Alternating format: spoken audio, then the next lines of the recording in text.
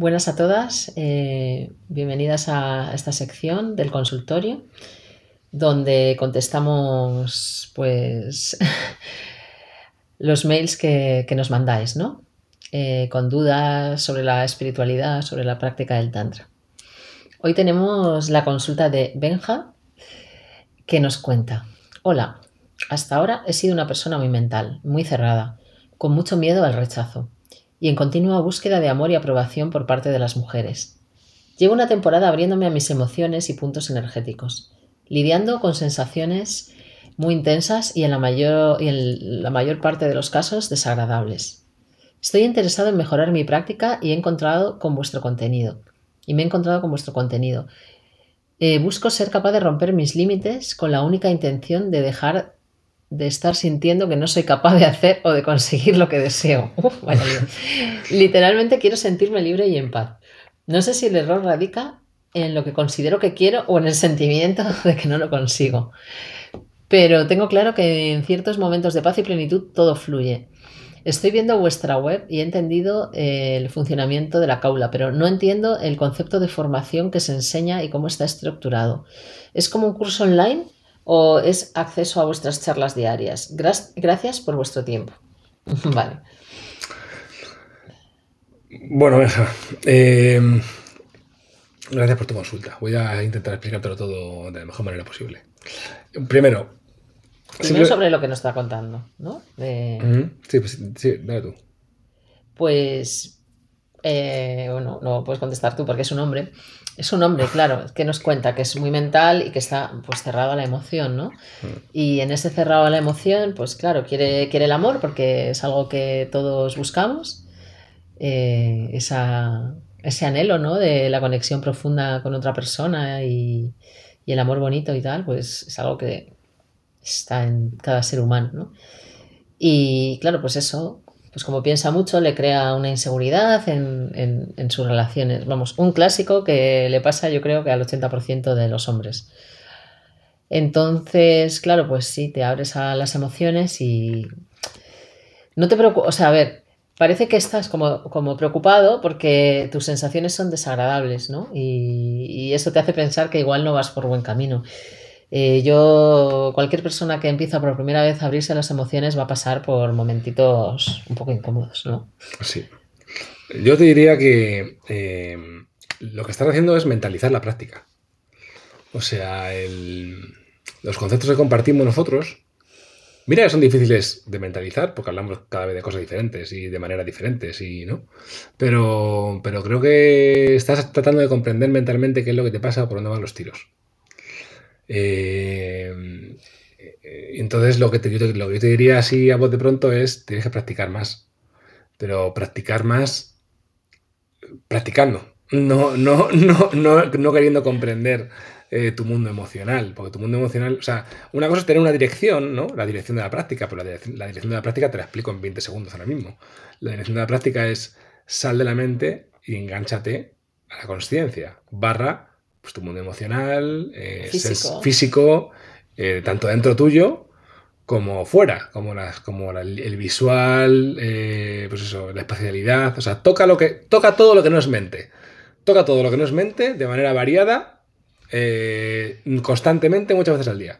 En eso consiste Tantra, ¿vale? Mira, y un aviso, un aviso a todos los navegantes del universo espiritual. Consumir contenidos no es practicar. Mucha gente se cree que porque está todo el mundo viendo vídeos o escuchando podcast, está practicando. claro. Es práctica. Nosotros, mira, nosotros tenemos. Diariamente sacamos eh, un artículo y un vídeo, por lo menos dos piezas de contenido diarias. En Instagram, Facebook, por lo menos dos, piezas de contenido diarias. Y a veces tres o cuatro piezas de contenido. En un mes sacamos más de 100 piezas de contenido diferentes. A la gran mayoría de personas no les sirve para nada. Porque lo que hacen es eh, mm, lo que hacen es alimentar con una comprensión espiritual. Sí, o añadir, eh, añadir información a la que ya tienen. Claro. Entonces, eh, pero ¿por qué lo hacemos? Lo hacemos para. Porque en algunos de vosotros os despierta una curiosidad de decir, ostras, vale, si es por aquí, y si de verdad profundizo, y si de verdad me pongo a ello, ¿qué pasaría? ¿no? Entonces, yo creo que eso es un poco lo que te está despertando a ti por la consulta que me mandas. Entonces, ¿qué pasa? El mundo de la espiritualidad, el, camino de la conciencia, suele ser un camino muy solitario para la mayoría de las personas porque eso, pues cada uno hace su pupurri de técnicas espirituales y practica a su manera, o, busca la comprensión a su manera, o busca el desbloqueo emocional a su manera, y es muy duro, porque el camino al despertar es duro, porque hay estructuras que hay que romper que, con las que estamos muy identificados, hay emociones que tenemos que sentir que, hemos, estado toda la vida corriendo de ellas, es duro. Y ser diligente y constante en la práctica para romper, es, para atravesar esos estados, es duro. Entonces, para eso necesitas un sistema, una estructura. Necesitas el acompañamiento de practicantes que hayan pasado o que estén pasando por cosas parecidas a la tuya. Necesitas un maestro, alguien que haya integrado varios estados y te ayude, pero como, como ayuda a un profesor de tenis, alguien que está, que, está, está empezando a practicar tenis, parecido, ¿no? Que te ayude, una persona que te ayude, que tenga integrado parte de las enseñanzas, que en este caso es mujer. Necesitas una dirección clara que para eso están los textos, donde ven, donde explican pues, cómo funcionan las emociones, el cuerpo y hacia dónde tirar para ir desbloqueando, ¿no? Y sobre todo necesitas tus propias experiencias para contrastar todo esto y tus propias experiencias solo las vas a tener si practicas. Claro. Entonces, se habla mucho de que el Tantra es una vía eh, secreta, mistérica y tal, y, lo único que, que, quiere decir eso es que hasta que no practicas no sabes de qué va esto, ¿no? Entonces, pues preguntas muy lógicas, ¿no? Al no saber de qué va esto, es, eh, ¿es un curso online? Eh, a ver, no es un curso online en el sentido de primero de Tantra, segundo de Tantra, eh, primero de Spanda, tercero de Prata Vignardayam. que lo hemos visto, ¿eh? Por ahí. Lo hemos visto, hemos visto gente que da, que da Spanda, que es la escuela y la, una, una, de las escuelas del Tantra Shivaita y da primero de, espanda, segundo de espanda, como si el espanda, que es la vibración de la conciencia, se pudiera eh, cuartear y acceder a ella en trozos, ¿no? Entonces, no es así, no es lo que uno se imagina, ¿no? O sea, un churro de conocimientos en cierto orden. Son todo eh, sesiones de práctica en directo. A ver, el grupo de prácticas es eh, el programa online mejor montado que yo he visto nunca. Y no es porque lo haga yo, es porque simplemente no he visto otro que esté mejor montado.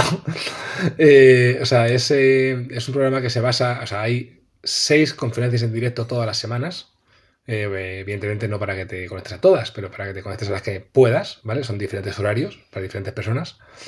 Eh, la base está en la práctica. Luego hay un montón de contenido ya grabado, todas las sesiones se graban, se suben. hay un sistema de apoyo, ¿vale? El primer mes hay una persona para ti que se dedica a estar contigo y enseñarte a navegar todo lo que es la, plataforma online y todo. Eh, hay grupos de WhatsApp sociales. O sea, hay, digamos que te metemos en una burbuja de sabiduría tántrica para que tú, eh, con tu inteligencia, porque el tantra es para inteligentes, tengo que decirlo, con tu inteligencia y con tu intuición, pues vayas eh, profundizando a tu ritmo, al ritmo que tu vida te permita. Pero es un ecosistema el grupo de prácticas. No es ni un curso online, ni charlas diarias, ni, ni cosas grabadas, no, es todo. Hay todo y luego tú quieras. ¿Vale? Eso es el grupo de prácticas. Sí, bueno, si te interesa lo de los contenidos, eh, de las seis sesiones que tenemos eh, a la semana, pues solo hay una en la que hablamos, que es una que hacemos nosotros. Y todas las demás son simplemente práctica, eh, práctica de lo que es el, realmente el Tantra, ¿no? Cuando la gente me dice, ¿qué es realmente el Tantra? Es difícil de explicar, pero sobre todo es una tecnología espiritual.